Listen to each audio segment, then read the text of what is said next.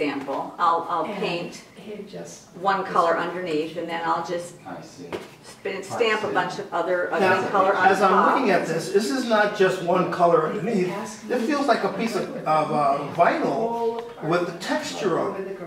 Okay, well, the, the vinyl feeling is because I'm working with acrylic paints. Okay? The first thing I do is I put texture on, and I don't, I don't know if the camera can pick this up or not, but I carve into the texture. I mean, how- I'm, I'm just working, Well, you gotta. I'm just working Carving with, into the texture. yeah, I'm just working with white, um, white gesso, which is kind of like thick, thick house paint. So I can carve into it, I can stamp into it, I can put a history on there. So then when I paint over it with red paint or blue or whatever I do? You can see, you I just don't can know. start to see the lines that are underneath Sound like it's from such the a small texture. town. Got it. Then I'll stamp another color on top of it. I'm working for, kind of working for ugly at this point. Okay. what's the sleep- you know- Here's, the- here's, here's like where you might go with the next step. Whoa, So- from that to that. Well, something, Okay. yeah. All So right. now, by this point, I've stamped on a bunch of things. I've maybe added on some gold. I've added in And the kids some are markings. now. Yeah. I, I, I just cover the page with stuff, okay? Now, then, here's another example. See, this is just, it's just garbage, basically. Okay, Just making a mess. You're supposed to downsize and you. Now, once that's the most creative mess I've ever seen. And they had a fit. once I make the mess, I start looking, what's in there?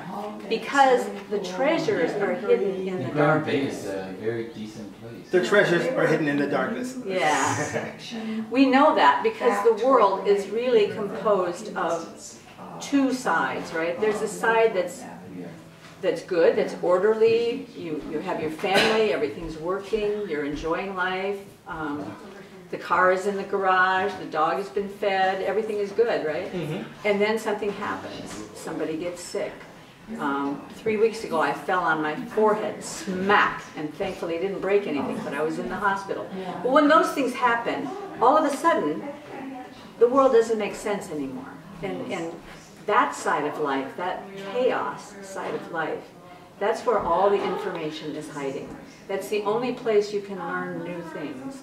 If you let yourself learn something from it instead of resisting and resenting and getting angry about it, you walk into that place and you find what is to be found there.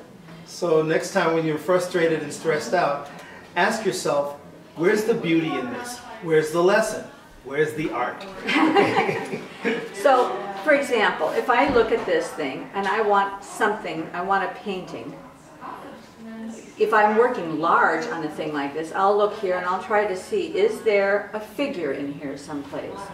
Is there something that looks familiar to me? Like maybe, maybe that's a bird. You see that? That could be a bird's beak. Mm-hmm. And I could make a bird out of this. And I could find other birds then, and I could organize this as some birds in a beautiful mystical background. Hmm. Or I could take a frame like this, and I could turn it, and maybe I could do something like that, and I have, Wow, all of a sudden, when you give it a boundary, you have meaning. got it. Because boundaries Wow. are important for us to have meaning. You know, that's why children enjoy having rules. They, the children don't do well without any rules Mhm. because they need to feel safe in a boundary. There's another little painting. Wow. Okay. So that's the kind of thing that I do in order to, in this one, I might turn this into a floral. See, do some flowers there, and all of a sudden, it's a, it's a mystical, magical floral. Now, one of the things I, as I've, I've taken a tour, um, you know, sort of picking up on your theme of taking uh, the same thing and painting it 20 times, um, in, in your evolution of your process, I sometimes you have panels where there's, you know, there are three panels, and I've seen four in, in the past where, you know, there's a, there's a, there's a, um, it's evocative of something. And it, you know, it, it- every time I look at it, I see something else. I, every time I look at it, I feel something different. So um, I really like this, and, and I really like your process. I really admire your work. Um, you know, I have a few pieces, and I'm, you know, when as things evolve, I'm going to get more. So before I buy it all, be sure to get your own.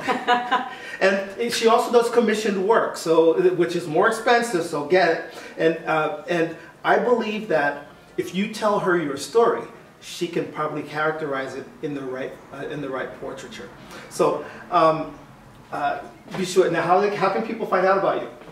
Well, I do have a website. Website Yes, KarenWongArt.com. KarenWongArt.com. Be sure That's to look for a link and um, and Or if you want to email me, it's Karen at, well, no, I guess it isn't anymore. I don't have it. Sorry, I don't have that. go to anymore. Karen Wong Art first. Yeah, And, and and actually on. KarenWongArt.com, there's a guest website, a guest page where you can sign in, and I'll get the information. All right. Thanks very much. And remember, it's not up to us how long we live it is up to us how well we live. You're going to live anyway. You might as well live with vitality.